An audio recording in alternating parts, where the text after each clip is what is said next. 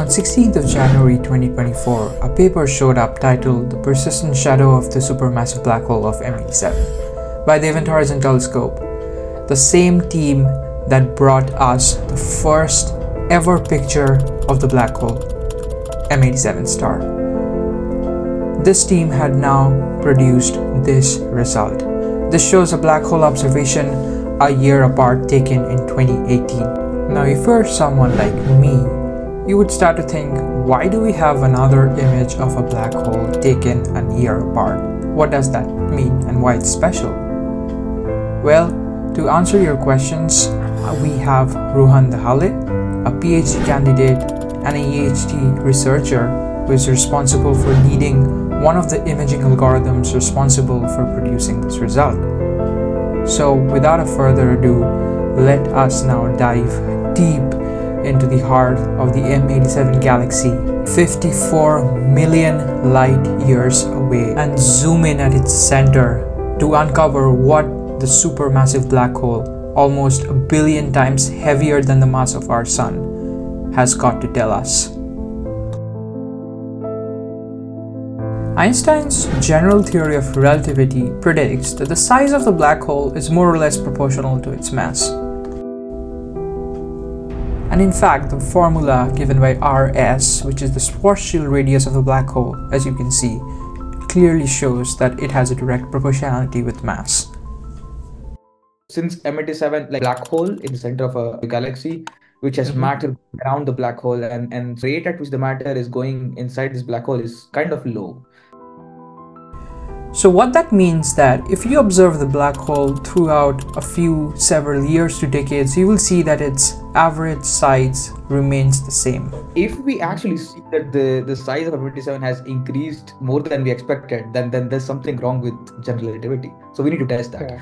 And that's one of the tests that we want to do. So that's exactly what we did. We, we saw the black hole after one uh, one year and what mm-hmm. do we mm-hmm. see exactly what what gr predicts we we saw that it's the same size as it was last year other right. reasons we like we can also study thing that we observe from this image is that you saw the the bright region of the ring uh, if you if, if people remember it was at the south part but now right. it has so what can we study from this so by how much it has shifted so like we, we have different theories and, and models of how matter is going around black holes mm-hmm. and if know uh, uh, exactly like we can also predict how much it will it will uh, move this matter uh, after a year or after two years and mm. from from how much we observe that it, ha- it has moved we can actually constrain our, our theoretical models to understand black holes much better. So the ultimate goal for any kind of study is to match our theoretical models with the actual observations so that we can make more powerful predictions. So we would want to observe again and, and do this like make this more result important is that want to improve our error bars and, and make like more precise measurements of what we have done before. To give you all a bit of a context, the relative distances from Earth to both the black holes make them appear the same size in the sky. However, the black hole M87 star is a thousand times massive from Sagittarius star. The gravitational pull of these black holes are so strong that it takes gas days to weeks to orbit the larger M87 star whereas for the smaller Sagittarius star, it can complete an orbit in mere minutes. This means that the gas is almost traveling close to the speed of light. Uh, EHT actually took observations not just in 2017 and 2018 that we have released. We have observations taken uh, in 2021, 2022, mm-hmm. 2023, and we are going to take observations again in a few weeks now in 2024. Uh, so we actually did this for both M87 and Sagittarius, which are the primary targets oh. for black holes. Uh, uh, and and people saw the first image of Sagittarius star in, in 2022 and yeah it was a bit deformed and as you said it's it's a more dynamic in, in nature. So it's it's more mm-hmm. difficult to, to actually work with Sagittarius star. It's it's like it's moving there is scattering that we experience in the galaxy that and so the making an image or an, or study is more difficult. We do have observations from Sagittarius uh, from all these years uh, from 2018 to, to 2023 and we we are working on that so instead of now releasing just like one observation at a time we decided to just like do one paper and then like do a more mm-hmm. comparative of all the observations that we have I think that will come out anytime next year hopefully since it's like more dynamic i think it makes mm-hmm. more sense to like make a, a video movie A movie Yeah. out of it? Yeah, that's the that's So that's also so the rumor that I heard. So I just wanted to uh, kind of confirm. Okay, that's that's so really exciting. This is really cool. This literally means that after a certain time, we will have an actual black hole movie. Now, what that actually means is they will now combine all of their observations that they have taken throughout these years and stack them up frame by frame, making an actual movie. This is going to be really cool. So, after all of this, the obvious question now that stands is how do you actually image a black hole? And what the heck are all of these imaging models and algorithms? that's a very good question. Like, wha wha wha- how, like, people should should I think realize that it's not as simple as just taking an image, just taking a picture with your phone, or or like just Exactly. or an optical image. You just like click a button and you just like take take it on your uh, ca- like hmm CCD. Um, so here it wo- here how it works is that since the the angular size of the sky of black hole is so small, we have to like push the limits of of, of, of, resolution of the telescope very far. And there are there are there are two ways majorly you can do that. You can just like go to a different frequency or wavelength, or you can just make your telescope bigger and bigger. Okay. And the way we do this is like we want the telescope as big as the size of Earth, okay, to actually reach that resolution and that's kind of difficult you know it, you can't have a telescope that big so what we Yeah. do is we kind of make a virtual telescope that represents that so we, we what we do is we place different telescopes all over the world which would simulate as if it were that that big i mean sure there are holes in this big telescope but it's still something? Yeah. and then we observe with, with all this like right now uh, in 2018 we had like about eight to nine stations where like hmm telescopes were observed and and yeah of course the more telescopes we have the better the, the, the, the more data we have so when we take the data we actually are not really making an image right away by taking the data in different telescopes what we're Mm. we- recording is like all the the, the uh, electromagnetic waves or the voltages at each Raw okay? voltages. we record this it's it's not really in the image uh, domain. It's like in in something called fourier domain. Uh, i think some of the people would would know what that means mathematically. But that's like a more mathematical form of the data that we have okay and ideally we should have it sampled over many different spatial frequencies but we we have the data only few points okay because we have very few telescopes and Mm. uh, so since the data is so poorly sampled, we have actually we need lots of different algorithms to to actually say, okay, what we are seeing is exactly what we're seeing. So we actually need different methods to do a consistency check. Uh, because if you only use one method, you don't know if it's it's correct. We need different methods Right. to tell this. And uh, so once we we actually record the data, okay. So first of all, the data that we record is it's like in petabytes. So we take this to a, a common facility where we take the data from all over the world, and then we do correlate. So the data correlate really means that just take telescopes from two, two data from two different telescopes and just combine it together. We do this for all different two telescopes.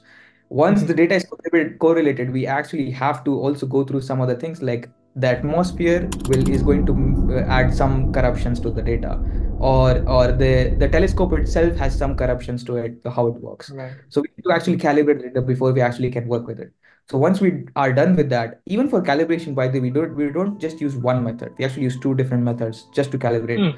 Because we want to be sure uh, because here we are really pushing the limits of astronomy uh, um, uh, with working with this kind of difficult data. So we we want to make sure that we are doing this correct. Once the data is now calibrated now as i said we need different imaging algorithms that actually take this data which is in a more mathematical form and not an image Right. to actually go to an image okay? So we need different ways to do it. So one is like you just take a direct transformation of the data in the mathematical form in Fourier domain, and then you go to this image domain. You are just doing an inverse Fourier transform of the baselines and then uh, exactly. So going you into okay. you take an inverse Fourier transformation, if I have to put in a more jargon way, and then you reach the image. It's a more traditional way. It has been done since many 40, 50 years in terms of Okay. uh, radio. Actually, had developed our own algorithms back in 2019 paper. So what we do is instead of starting with the data, we just start with an arbitrary or, or some prior image that we think can be represented. So that's not related to the data yet. Okay, it's not it's not representing the data yet.